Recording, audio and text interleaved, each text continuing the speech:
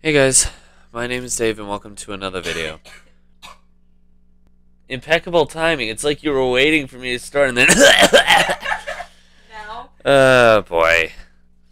Anyway, um, today, as the title implies, we're going to be talking about uh, the idea of hindsight bias. Um, now, for those who don't know, what hindsight bias is, is when somebody takes. It, it, someone predicts the consequences or the outcome of the behavior of any individual. However, this prediction is usually based off of personal um, experience or views. So that doesn't particularly mean it's false, but it is also based off opinions, so it has like a 50 50 chance of actually being accurate. Um, now,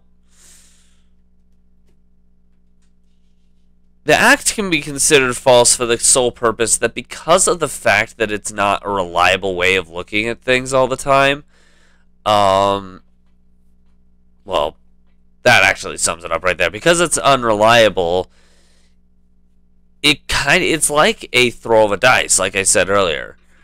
Hindsight bias is one of those things where if you were to go into it with that kind of mindset, you have a large chance of being wrong about the circumstance unless you know the individual well enough. Like, let's put it this way Pink Fox and I, since we have s- similar enough mindsets, if I were to go off of hindsight bias, I actually have a high probability of being right.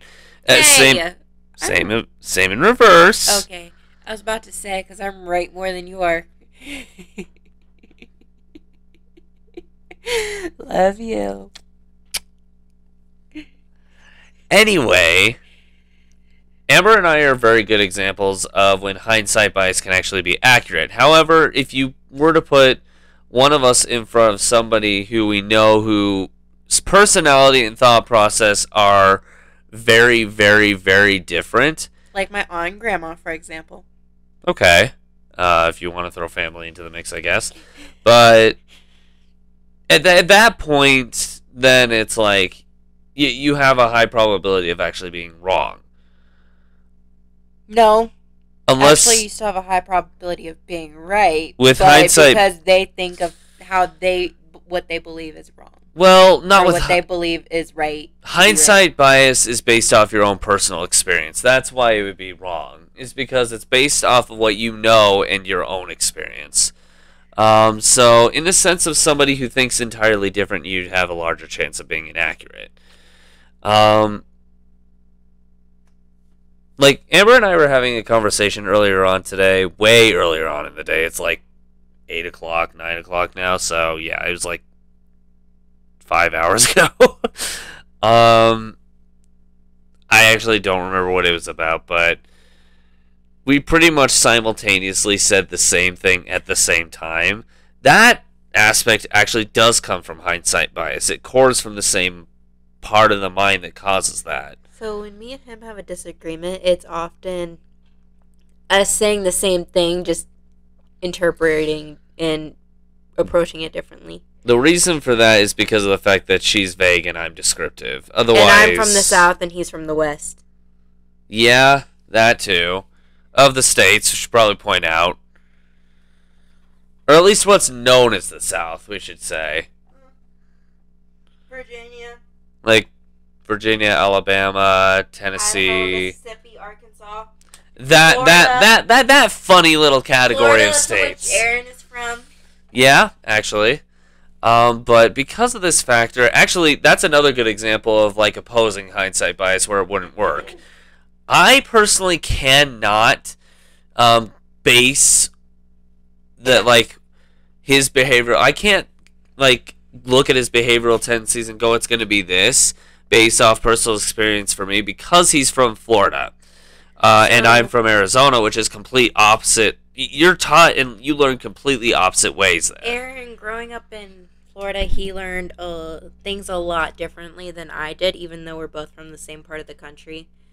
Um, he takes things at a rougher approach, I guess, is because he was given a rougher circumstance at the time? He was he appreciate no, it's because of the he wasn't given a rougher circumstance, but you're right. He does take a rougher p- approach. It's It's called tough love.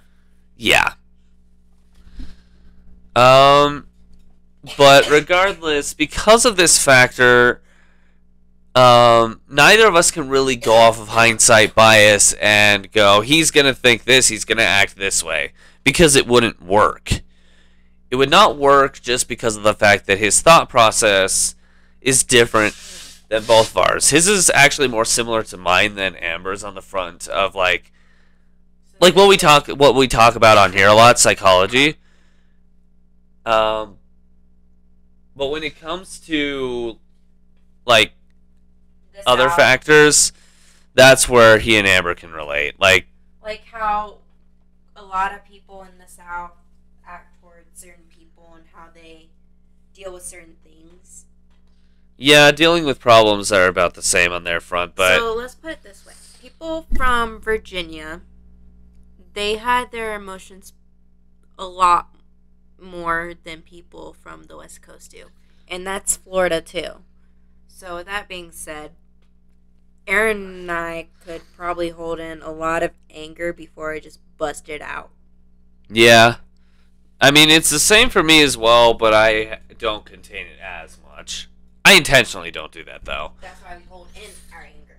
Well, yeah, but as I said, you guys do it intentionally. I don't. We don't do it. Or sorry, the other way around. You guys unintentionally do it. I don't. I intentionally release anything because, well, we'll get to that tomorrow or another day at some point, if not tomorrow. Anyway, I digress. With hindsight bias, it's very interesting to think about.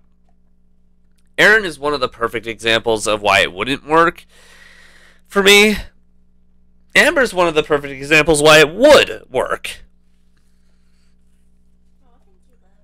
Now, hindsight bias it's an interesting it's it's an interesting psychological way of going about things.